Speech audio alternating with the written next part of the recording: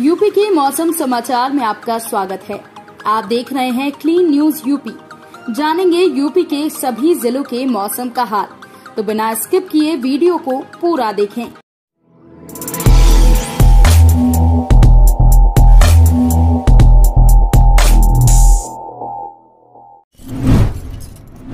चलिए जानते हैं, आने वाले दिनों में उत्तर प्रदेश में मौसम कैसा रहने वाला है? उत्तर प्रदेश के कौन कौन से इलाकों में किस तरीके का तापमान रहने वाला है? क्या उत्तर प्रदेश में कड़ाके की ठंड का एहसास होगा? या फिर ठंड से राहत मिलती हुई दिखाई देगी? क्या उत्तर प्रदेश में आने वाले दिनों में मौसम में काफ़ी ज़्यादा गर्मी देखने को मिलेगी? या फिर बारिश होने की संभावना जताई जा रही है, ये सब हम जानेंगे, लेकिन सबसे पहले हम जानते हैं, उत्तर प्रदेश के अलग अलग जिलों का हाल, यानी कि कहाँ पर कैसा मौसम रहने वाला है और कितना ज़्यादा तापमान बना हुआ है। तो आपको बता दें कि उत्तर प्रदेश में लगातार ठंड का असर देखने को मिल रहा है।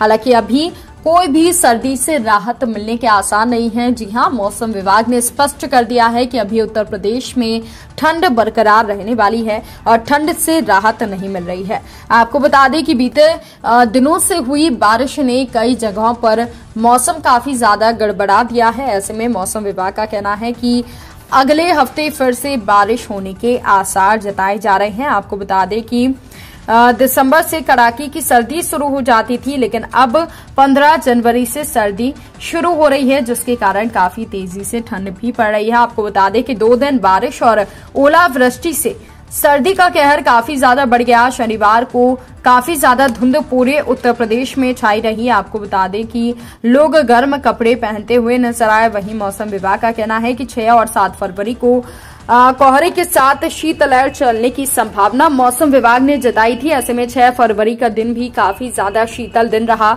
आपको बता दें कि अब 7 फरवरी को भी शीतलहर चलने की संभावना है। हालाँकि 8 फरवरी को घना कोहरा छाया रहेगा और 8 फरवरी की शाम से बादलों की आवाजाही शुरू हो जाएगी।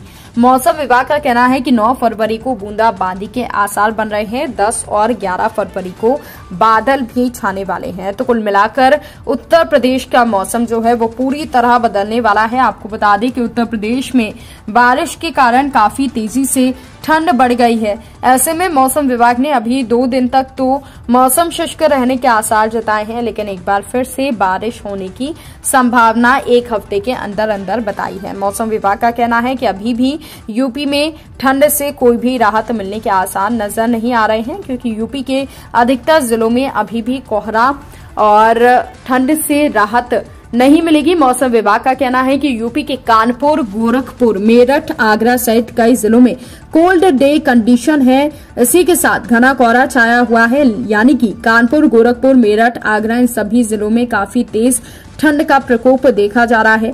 मौसम विभाग की कहना है कि अगले दो दिन तक मौसम ऐसा ही रहेगा। 9 फरवरी को बारिश होने की संभावना है। आपको बता दें कि ठंडी हवाओं ने काफ़ी ज़्यादा सर्दी का असर बढ़ा दिया है। तापमान में गिरावट देखी गई है। कोहरे और कोल्ड डे को लेकर मौसम विभाग ने अलर्ट जारी किया है। वहीं तापमान की बात करें तो लखनऊ में अधिकतम तापमान 19 न्यूनतम तापमान 10 डिग्री सेल्सियस है। वाराणसी में अधिकतम तापमान 23 न्यूनतम तापमान 8 डिग्री सेल्सियस है। प्रयागराज में अधिकतम तापमान 24 न्यूनतम तापमान 10 डिग्री सेल्सियस है। कानपुर की बात करें तो अधिकतम तापमान 16 न्यूनतम तापमान 7 है। गोरखपुर में अधिकतम तापमान 18 न्यूनतम तापमान 9 डिग्री सेल्सियस है। अयोध्या में अधिकतम तापमान 21 के आसपास, न्यूनतम तापमान दस दशमलव ज़ीरो डिग्री सेल्सियस के आसपास है। मेरठ में अधिकतम तापमान 16 न्यूनतम तापमान 5 डिग्री सेल्सियस है। आगरा में अधिकतम तापमान 19 और न्यूनतम तापमान यहाँ पर 7 डिग्री सेल्सियस के आसपास रिकॉर्ड किया जा रहा है, यानी कि तापमान में लगातार गिरावट हो रही है और खास तौर पर पूर्वांचल के जिलों में अच्छी खासी ठंड देखी जा रही है। आपको बता दें कि ठंड का प्रकोप कानपुर, गोरखपुर, मेरठ, आगरा समेत कई जिलों में जारी है और मौसम विभाग का कहना है कि अभी अधिकतम तापमान बढ़ने की संभावना नहीं है, यानी कि ठंड इसी तरीके से यूपी में अपना असर दिखाएगी। बाकी सभी जिलों में मौसम पहले की तरह सामान्य रहेगा। हर दिन मौसम से अपडेट रहने के लिए चैनल को सब्सक्राइब करें। साथ ही आप न्यूज़ को कहाँ से देख रहे हैं, हमें कमेंट में ज़रूर बताएँ और एक प्यारा सा लाइक कर दें। धन्यवाद।